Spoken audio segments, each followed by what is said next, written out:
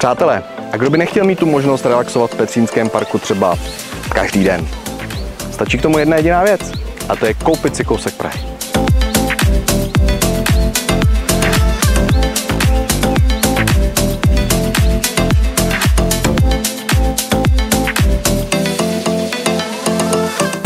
A opět je ohromný rádio, ale tohle, to tě dojme.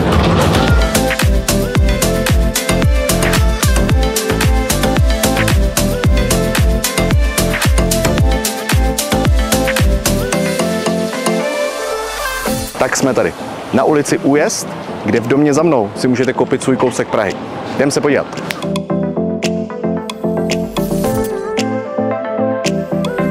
Víš rádi, teď tam možnost pořídit si takovýhle luxusní, skoro 100 metrový cikákáčko v centru Prahy. Teď těch možností bude méně a méně, teď jako ona ta Praha není nafukovací.